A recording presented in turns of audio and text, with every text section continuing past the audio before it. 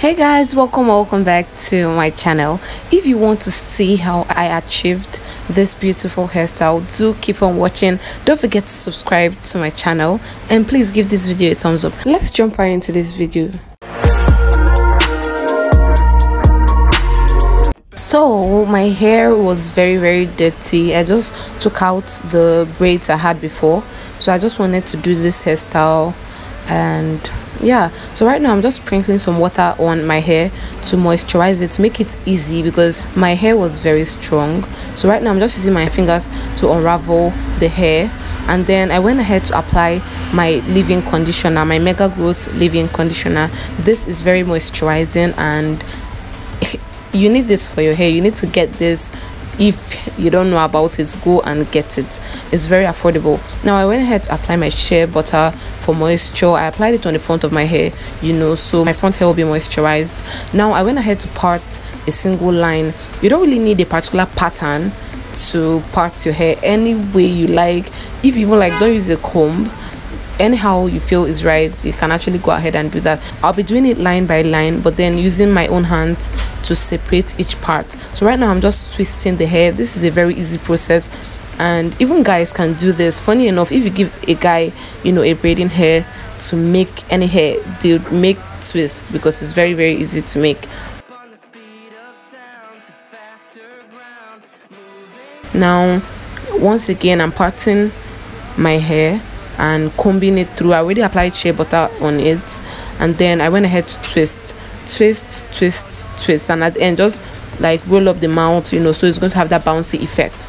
Now, if you don't have a hair clip, you can just use bobby pins to pin your hair away, you know, so it won't disrupt what you're doing. Now, you want to separate the hair into two parts and then twist and just be wrapping it around each other, like round, round, over each other.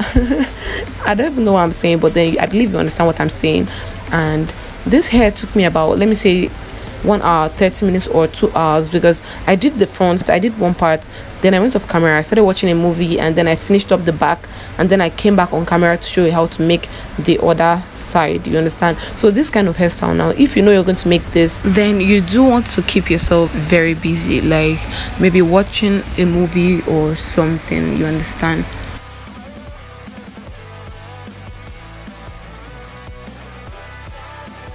and if you know you can't keep up with you know the tiny kind you can actually make yours bigger. But then it's better to make it tiny and just take your time.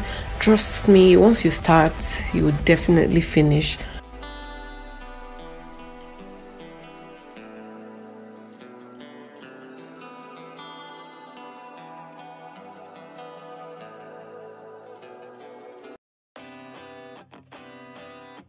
and another good thing about this hairstyle is is that you can actually put on a wig on it. If you're a wig kind you can just wear a wig and use this as your cornrows and things like that. It's very good. It's a very good protective hairstyle to protect your hair from you know damages and you know tangles.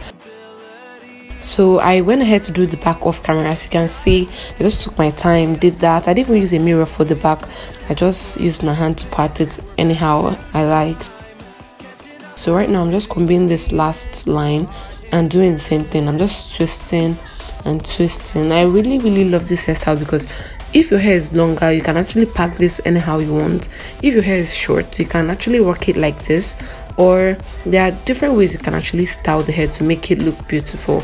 You can add some hair accessories like some hair rings and so guys this is the finished look. I really hope you enjoyed this video and if you did please give this video a thumbs up and subscribe to my channel to join this beautiful family. And please leave a comment if you're going to try out this hairstyle.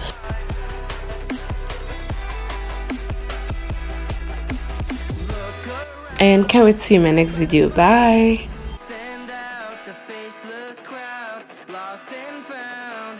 Picking up on the speed of sound to faster ground.